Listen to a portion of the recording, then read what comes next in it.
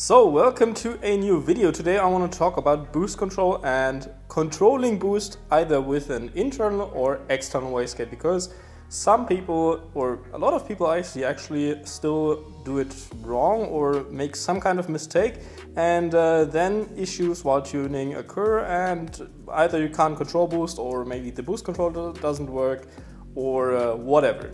I'm going to start with an external wastegate first. This is kind of a Tial knockoff wastegate, so it has the same ports as a Tial does and is set up for basically using spring pressure or a uh, three port boost controller.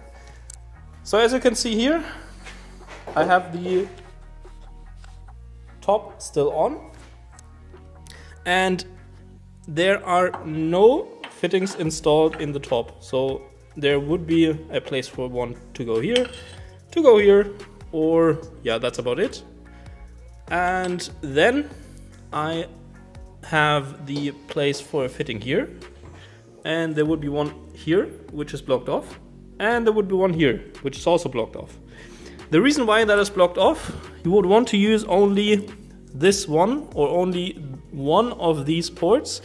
Every other port that has uh, access to air and is not for water cooling, like these two, for example, should be blocked off. And here you have to screw in your barb to use your boost control line. So this is where the line goes and that goes either if you want to run wastegate pressure to a boost source, so for example the intake manifold, or the uh, intercooler piping, or the turbocharger, or whatever, it needs to see boost, and then this pushes the diaphragm. Normally there would be the spring in there, but here would be the spring. And as soon as the boost pressure of or the pressure of the spring is overcome, the diaphragm would be pushed up and the valve would open and so your wastegate would open.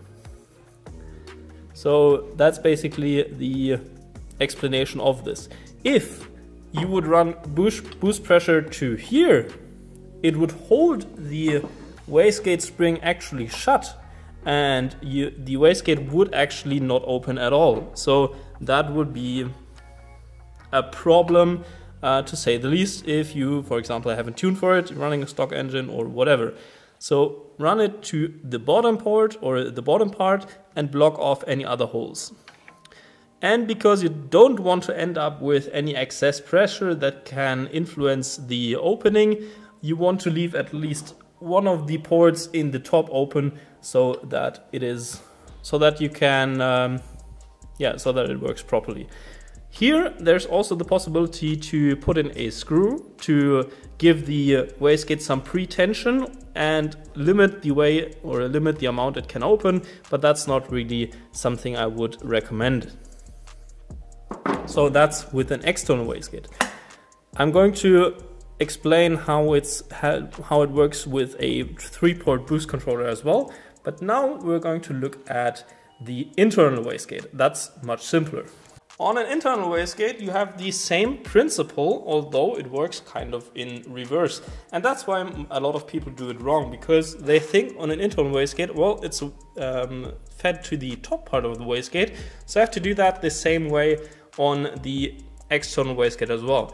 But there's a huge difference because the way that the actuator works is if it is like this, it the the uh, flap is closed and it actually needs to push this way to open it.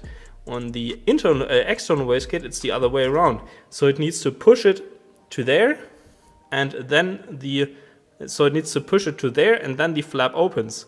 So that means we have to put pressure on the top which pushes down the diaphragm and the spring, which sits on the bottom and opens the wastegate flap.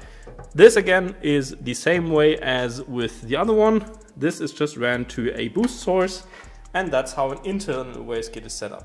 If there's also the possibility to so that you have multiple ports, so you have multiple ports here, so uh, or multiple ports here and here one, then if you wanted to run it this way, so that you are running spring pressure, only connect it to this port and leave the other one open. And if there are multiple in one chamber, so on the top or the bottom, you need to close off the other ones that are also there so that the pressure can actually build up inside the actuator.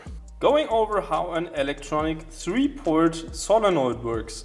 There are also a lot of boost controllers that work in the same way on, or use this kind of uh, setup or a Mac valve. This is basically the same uh, thing, but this is a Volkswagen um, N75 and it works in a way where if it is pulsed at a PWM frequency of about 30 Hertz, then the it um, basically creates a kind of a leak in the hose between the boost source and your wastegate actuator.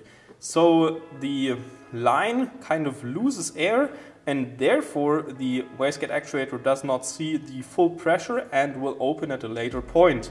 And the more air you are actually letting escape through that uh, artificial leak, the higher the boost level will be. So in this case, how to check if or how to check how you need to set it up is you have to wire it in and then blow into one of the ports and the one where it comes out on the other one, for example, if I blow in here and it comes out here, then that's where I want to connect my hoses or my hose. So I want to intercept my um, source for the wastegate actuator with these two barbs.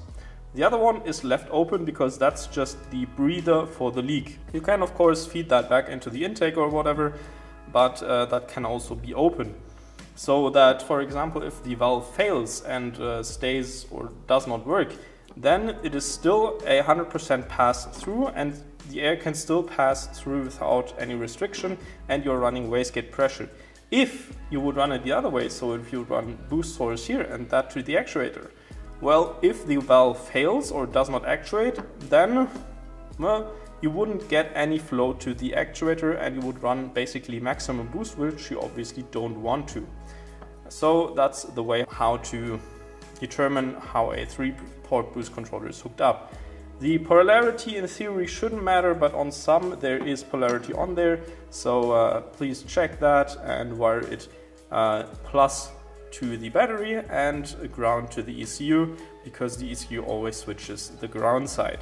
If you would be running a manual boost controller, so for example just a bleed valve, depending on this setup it is, um, you would use a T-piece in this without anything else and then on the side of the T-piece, on the bottom side basically that goes off to the bleed valve, then there you would put in the bleed valve, which you can open or close and manually control the leak that in the case of the electronic boost controller was controlled by PWM is now controlled by the screw and you can control the leak in, in quotations that way and control your boost level in that way.